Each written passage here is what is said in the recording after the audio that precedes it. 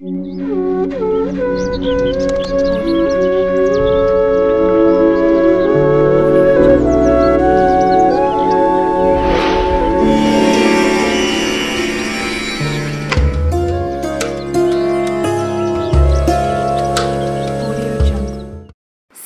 ధర్మంలో అనేక ఆచారాలు అనేక రకాల వస్త్రాలు దారాలు కంకణాలు రుద్రాక్షలు తులసి స్ఫటిక పగడ ఇలా రకరకాల ధారణలుంటాయి. వాటి వెనుక అనేక రహస్యాలు శాస్త్రాలు ఉంటాయి. అయితే ఈరోజు మనం మరీ ప్రత్యేకంగా వీడియోలో స్ఫటికమాల వాటి ఫలితాలు తెలుసుకుందాం.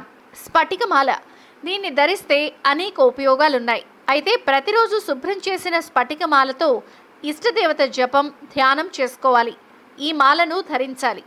దీనివల్ల తలనొప్పి వేడి జ్వరం అరికాళ్ళ మంటలు అరచేతుల మంటలు జ్వరం వచ్చినట్టు ఒళ్ళంతా సెగలు నిద్రలేమి ఇంద్రియ నిగ్రహం లేకపోవడం ఇలాంటి రోగాలు తగ్గుతాయి. వీటి కోసం నూట ఎనిమిది స్ఫటికాలతో చేసిన మాలను ధరించాలి. స్ఫటిక మాలను ధరిస్తే చాలా రోగాలు నివారణమవుతాయి.